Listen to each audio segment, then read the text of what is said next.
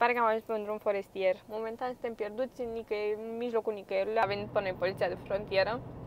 Ne-a oprit, dar e a doua oară când ne oprește poliția. E a doua oară când pățesc chestia asta. Ca acum, asta, cascada pe care am văzut-o. A fost uh, o zi dificilă din punct de vedere psihologic. Neața!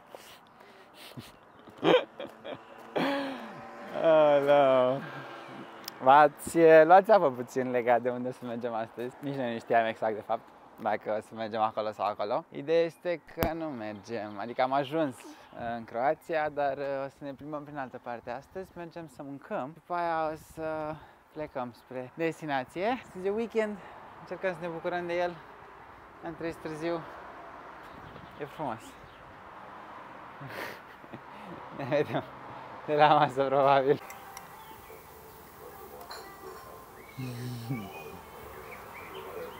Ne-am luat zălăcică, roșii, ardei, zălăcică și o pâine foarte, foarte bună. E caldă, acum cred că au scos-o. Ne-am luat și o cafeluță, mâncăm repede și după aia îi dăm spre... Am venit și ei salata, inițial înțeles că vrem doar Thank salata. you. Și intră perfect. A fost 30 de secunde, gen undeva la 20 și ceva de lei. Se pare că am ajuns pe un drum forestier la granița cu Bosnia, pe care nu e nimeni, nu e vamă, nu e nimic. Și trebuie să ne întoarcem pentru că nu putem trece pe aici. Bariera e încuiată, era mai sus un sediu de poliție, vamală presupun, dar nu era nimeni acolo. O să trească să ne întoarcem, să mergem pe altă parte unde voiam noi să ajungem astăzi. O să ne întârzie puțin, probabil o oră, o oră și jumătate, dar asta e, se întâmplă. Momentan suntem pierduți în, nicăieri, în mijlocul nicăierului, am mers 6 km pe drumul ăsta de țară, pe drumul ăsta forestier. Nu știm unde o să ajungem și ce facem, dar uh, vom vedea, vă ține la curent. Avem, avem o zi, avem. Nu bună, asta e cert. Ne-am întors de acolo, de la punctul la Vamal, care era închis. Era oricum un drum forestier mega dubios. Am intrat pe drumul principal, la nici, cred că 5 minute după ce am intrat pe drumul principal, a venit pe noi poliția de frontieră. Ne-a oprit, ne-a luat toate actele, ni le-a verificat, ne-a ținut vreo 10 minute, cred, minim 10 minute. A vorbit cu alți oameni prin stație, nu știu ce, ne-a întrebat după aia de câte ori am venit în Croația, cât timp stăm, unde stăm, ce facem și într-un final ne-a întrebat unde voiam să mergem. I-am arătat pe Google Maps unde voiam să mergem, i-am arătat traseul și i-am spus că ne ducea prin punctul ăla de frontieră, dacă ne-am dat seama că e închis și ne-am întors, nu am trecut frontiera pe acolo și că voiam să mergem să trecem granița pe undeva mai prin nord față de unde suntem noi acum și ne-a zis că într-adevăr, da, acolo este punctul de frontieră, e la 30 de km distanță de unde am de pe unde ne-a băgat noi, pe noi Google Maps și acum mergem acolo, dar uh, a fost cu emoții. E a doua oară, eu n-am luat bariera pornită. E a doua oară când ce? Când ne oprește poliția. A, da, e a doua oară când ne oprește poliția aici, că ne-am mai oprit și mai devreme. Eram prin munți și am dat de o singură mașină de poliția era. Gen, am dat de o singură mașină punct pe tot drumul, dar mașina aia când, a, când am dat de ea era de poliție și, bă, fiind și noi singuri oameni de pe stradă, ne-a oprit. Bineînțeles că ne-a oprit. Ne-a verificat actele și ne-a spus să plecăm. Ne, Ne-a zburat camera. Da, mă rog, Dixie a pus o frână din aia foarte bruscă, ne-au zburat toate chestiile de pe banchete, le avem pe sub scaune, încă nu le-am luat de pe acolo.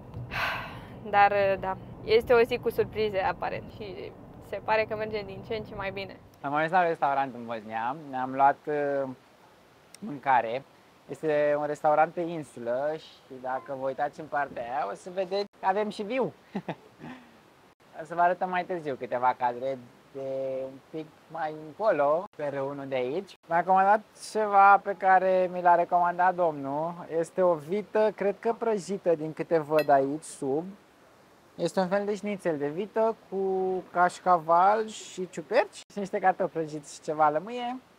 El așa luat un păstrăv uh, prăjit. În crustă de mălai cu, nu știu ce asta, sper să fie spanac, spre binele meu, și cartofi fiert. Pentru că, na, suntem lângă râu, suntem lângă Parcul Național Una, care se află de-a lungul râului Una, pe care plănuiam să-l vedem astăzi și o să ajungem uh, să vedem tot, doar că ne-am, faptul că ne-a rătăcit puțin ne-a întârziat cu vreo două ore. Am găsit cascada, dar uh, graznic drumul.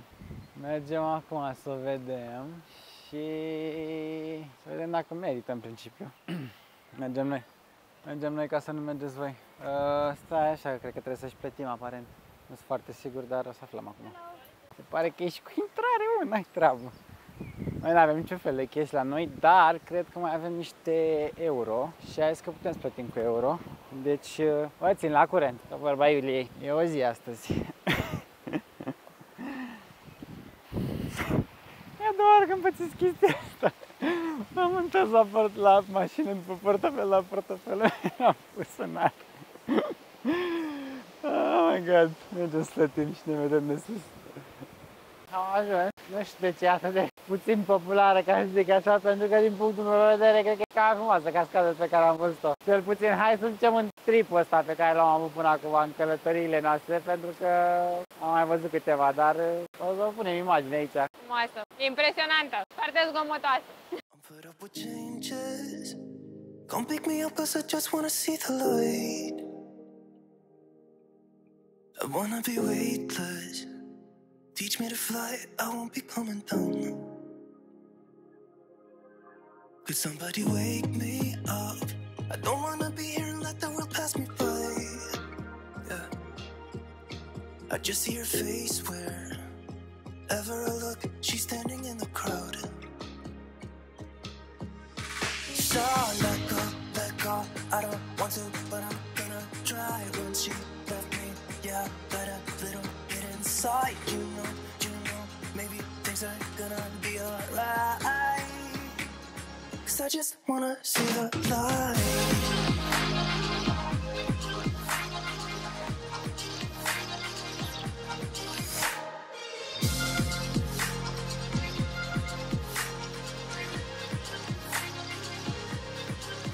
I'm so sick of waiting.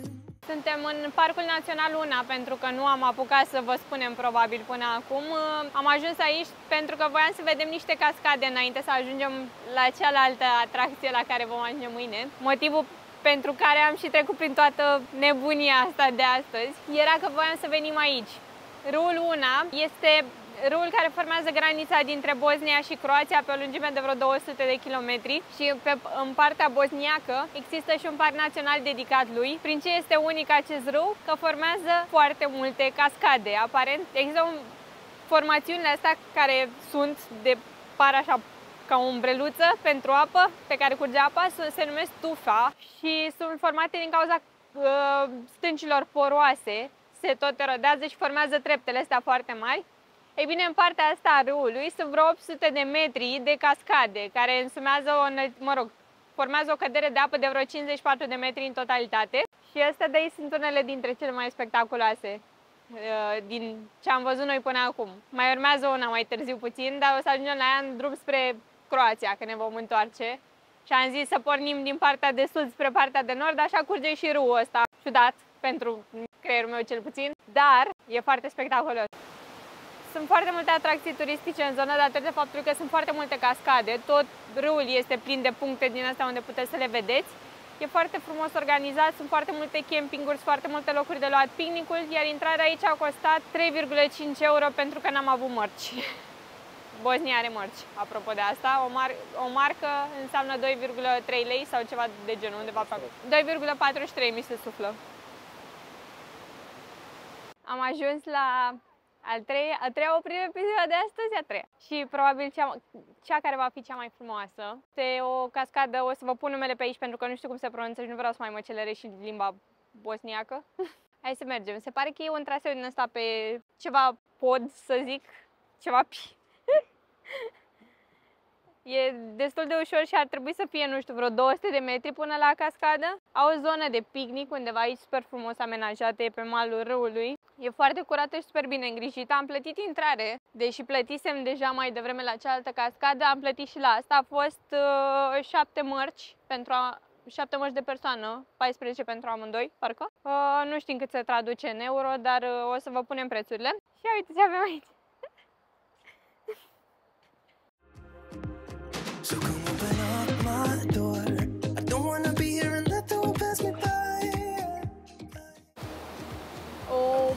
God. That's a difficult day.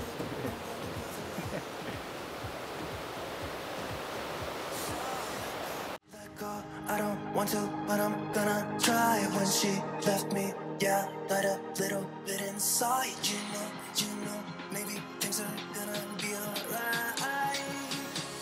Cause I just wanna see the light. Să înțelegeți cât de mare e cascada, acolo este un om. Acolo. La în roz, îl vedeți? Cam atât de mare e cascada.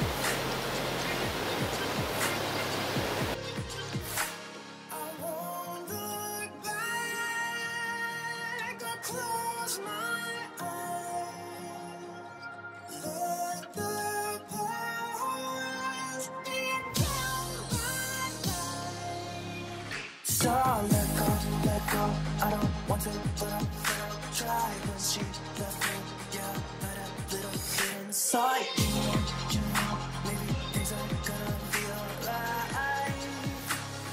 I just wanna see the light.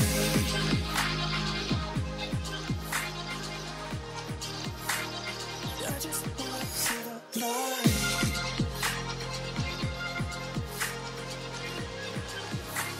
Cause I just wanna see the light. Am terminat de văzut cascada. Este... E cascadă pe bune, adică... Ați văzut pe unde am fost până acum și uh, nu neapărat că sunt dezamăgit, că înțeleg, na, sunt frumoase, dar nu se compară cu ce, ce am văzut noi aici, adică este, este, este cum vezi în filme, fix asta am zis când covoram, nu știu dacă am apucat să filmez sau mult, dar este fix cum vezi în filme, este superbă, este imensă, da, ce să zic, frumos. Are câteva viewpoint-uri făcute de ei, din care se vede foarte, foarte frumos și am prins și lumina dinainte de apus, ceea ce e un pic dubios pentru că na, e mai greu de filmat, dar se vede foarte frumos, se vede foarte, foarte frumos. Și mă uitam pe harta asta de aici și voiam să vă zic că parcul ăsta are mai multe intrări și Este câte o atracție turistică și, mă rog, pe lângă chestiile astea se pot face tot felul de activități și foarte multe trasee. Este frumos și e foarte aproape de Croația, ceea ce e un plus, dacă nimeriți drumul din prima. o las și pe Iulia să vă zică impresiile ei. Cred că ar fi corect să vă spun și eu câteva cuvinte, că până la urmă eu l-am convins pe Dixie să vină aici. Am un obicei prost pe care îl fac uh, atunci când am foarte mult timp liber. Intru pe Google Maps și găsesc tot felul de chestii în zona locurilor pe care vrem să le vizităm, ca să ne umplem zilele în principiu, pentru că noi suntem obișnuiți să avem toată ziua ceva de făcut și cam așa am descoperit și cascadele astea. Mie mi s-au părut că seamănă, din poze cel puțin, foarte mult cu parcul din Plitvice. Noi n-am văzut încă parcul din Plitvice, dar pozele erau foarte similare. Ce vreau să spun este că prețul este de câteva ori bune mai mic. Dacă vreți o alternativă la Plitvice și nu vă permite să dați 200 de lei de persoană pe biletul de intrare la acel parc natural, biletul aici a fost 7 mărci, 7 mărci însemnând undeva la 20 de lei de persoană. E de 10 ori mai mic și extrem de frumos și noi am fost singurii turiști. Cel puțin la cealaltă cascadă eram noi și atât. E duminică după amiaza, seara acum, și aici eram uh, șase persoane pe traseu, deci merită din plin să veniți să le vedeți, că nu sunt atât de turistice, nu sunt atât de aglomerate, locuri de parcare sunt, sunt gratuite. Ce vreți mai mult de atât? Noi sperăm să vă convingem, dacă aveți drum prin apropiere, să le vedeți, pentru că merită, sunt extraordinare și impresionante. Am ajuns într-un final înapoi la cazare, suntem super obosiți, Alex n-are deloc energie, este... Nu, zero cu energia, pe zero cu energia și hai să fac eu încheierea, să vă mulțumim pentru tot. Am ieșit să, un pic să sărbătorim și noi 300 de subscriberi pentru că astăzi am lipsit câteva ore din mediul online, să zic așa, pentru că nu ne-am organizat să postăm vlog astăzi, e duminică, în săptămâna cu rusalile. Am fost în Bosnia, după cum ați văzut în vlog, vlogul de astăzi, internetul este puțin în Parcul Național, roamingul foarte scump, am avut net oprit. Când ne-am întors în Croația am descoperit că aveam 40 de subscriberi noi obținuți în, nu știu, 7 ore, 8 ore, ceva de genul. Și am ajuns la 300. Așa că am decis să-l conving pe Alex să ieșim, să sărbătorim. Deși nu prea vrea, pentru că mâine dimineața la 9 trebuie să fim la cealaltă locație de unde o să vină vlogul mâine. și e complicat. A fost uh, o zi dificilă din punct de vedere psihologic, să zic așa, moral. Ne-a dărmat puțin dimineața. Ne-am pornit greu și faptul că ne-am rătăcit ne-a tăiat un pic din avânt și a adunat o grămadă de tensiuni între noi și...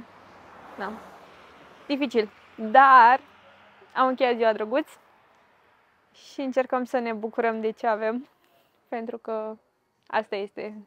Nu, nu e mereu roz, mai ales când călătorești tot timpul, când trebuie tot timpul să te muți, mă rog, nu trebuie, dar când te muți tot timpul dintr-o țară în alta, se întâmplă și chestii de genul ăsta.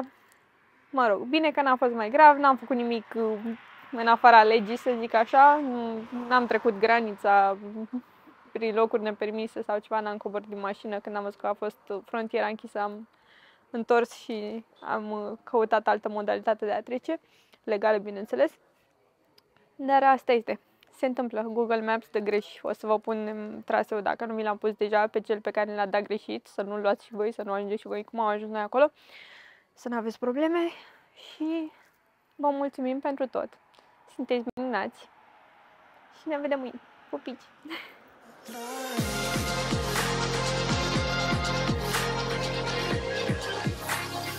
I just wanna see the light